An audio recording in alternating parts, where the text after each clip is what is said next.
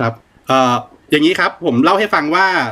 จริงๆแล้วเรามีทั้งสายฟาร์มแบบ seed กับฝ่ายฟาร์มแบบ stem นะครับ ก็ก็แล้วแต่คนชอบแล้วกันนะครับ ทีนี้หลายๆ คนคงรู้แหละว่าแต่ละฟาร์มมันมีการแบ่ง reward ไว้แต่ละ pool นะครับ ก็ตามที่เราประกาศใน white paper นะครับ แล้วก็จากคำถามเมื่อกี้นะครับ ถ้าดูตาม roadmap แล้ว จริงๆ roadmap ต่อไปนี่แหละนะครับ สิ่งที่เราจะเพิ่มก็คือเพิ่มฟาร์มเพิ่มเติมนะครับ อาจจะมีหลายคนสงสัยว่าเพิ่มฟาร์มเนี่ยเราจะเพิ่ม ฟาร์มเยอะฟาร์มน้อยฟาร์มอะไรบ้างนะครับ ก็อันนี้เรามาเล่าให้ฟังกันเป็นเป็นที่แรกแล้วกันนะครับ ก็คือ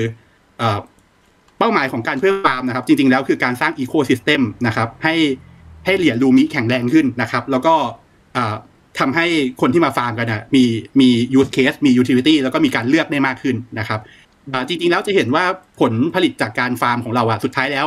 มันจะแลกเป็นฟิกเลตเป็นลูมิถูกไหมครับ แต่ว่าเรามีการ เรามีการแปรรูปให้มันเป็นผลผลิตก่อน เพื่อที่จะจะได้นำไปใช้ในในในการเล่นเกมได้นะครับหรือว่านำไปใช้ในการสร้างผลผลิตอื่น ๆ ตามเกมได้นะครับเพราะฉะนั้นตาม roadmap ใหม่เนี่ยเราจะมีเพิ่มเข้าไปมากขึ้นนะครับ จะได้เห็นผลเห็นฟาร์มใหม่ๆแล้วกันนะครับ ซึ่งผมบอกได้เลยว่ามากกว่าหนึ่งฟาร์มสองฟาร์มแน่นอนนะครับ แต่ว่ามันจะเป็นฟาร์มเหรียญอะไรอ่าเป็นฟาร์มอะไร อันนี้เดี๋ยวยังไงเดี๋ยวขอขอคุยกับ partner ให้เรียบร้อยนะครับ เพราะว่า เป้าหมายเราคือเราการหา partner มากขึ้น partner เหล่านี้จะเป็นอ่าส่วนหนึ่งที่มาช่วยกันสร้างผลผลิตจากการฟาร์มนะครับผม เราอาจจะได้เห็นเหรียญใหม่ๆ นอกจากเหรียญ KUB แล้วก็เหรียญอ่า KUSDT นะครับ ในการในการฟาร์ม pool ใหม่นะครับแล้วก็ตามแผนของเราเนี่ยก็